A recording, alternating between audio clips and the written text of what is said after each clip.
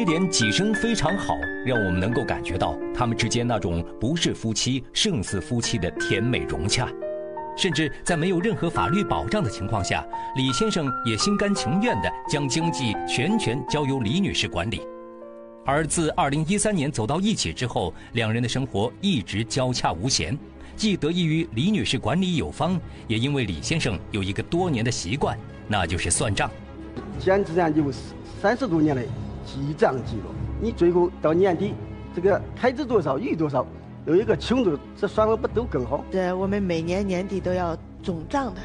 经济公开、账目透明是两人得以相互信任的前提，也是维系着这份信任的重要保障。虽然偶尔也会有个五百、一千的偏差，但是因为数字较小，李先生也没有多在意。在二零一八年又一次年终总账的时候，李女士账上的数字却把有着三十多年算账经验的李先生给吓了一跳。他的这个钱儿，从我认为，他这个挪到他名下已经超于我了。什么意思？说清楚。就是每年存款，他去办理。我说你存的我的名，我因为我是一家之主。是的，是的。然后呢？存的我的名字。嗯。结果他在我不知情的情况下，他就都存成他的名字。一般这银行存款到年底都放那个福利不来。是的，是的。存款有我有啊，有我卫生纸啊，仍让人家好。嗯。我一看，哎，我是你是把这个钱翻了。这是把这个存折翻了，我说让我看看。嗯。结果一看，我的存款单又都一下翻到他名下。没有，你的是你的，我的是我的，还是？你知道前两次你才多少？最后达到十七万之后，我这样从哪来呀？你叫我去存钱，我没给你打招呼。我叫你存，我叫你存我的名字，不是叫存你的名。什么叫做你超过了他？他认为是他的钱，我名下的多了，差了一万，就差了一万。对，我就比他的账户多一万。对对对对，就这样，他心里不平衡了，为这个发生不愉快了。对对对对对，有的是他的车到期了也需要换嘛，嗯，去换了就是也是忘了拿他的身份证，人家需要要身份证的，要存那个定期单要身份证的嘛。你是一笔存进去的还是？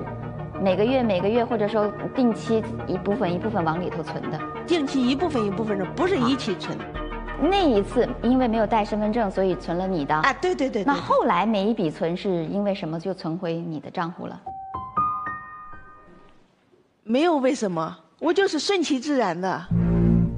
夫妻之间感到是信任的嘛。我心里这个想，那段时间可能就有起现变化了嘛。有些不舒服是吗？哎，是啊。好，他当时有没有给你解释为什么？没有啊，没解释。没解释。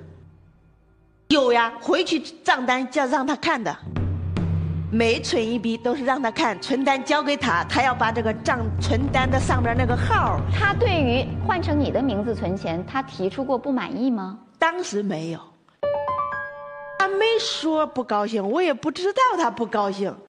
不是啊。第一次存款，他拿来存款单，我一看，他存的他的名字。嗯。哎，我非常不高兴。我说你为啥能这样做呢？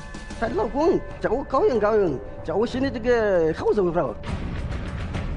不是，我当时他说他说了一个这样的话，他说你为什么存的你的名字？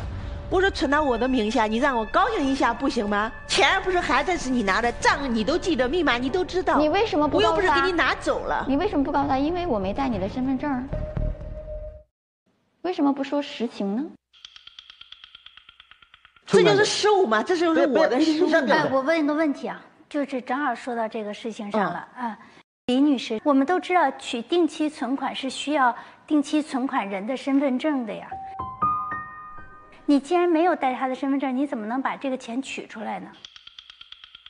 那我们那儿那个银行，它到期了，它就可以的。全国的银行现在都是在金融管理的状态下，没有身份证是取不出来钱的，尤其是非本人的，本身就不是您本人的，您要再不带着他的身份证，你也取不出来呀。那个，那那个是，呃，好吧，我只是提出这个问题。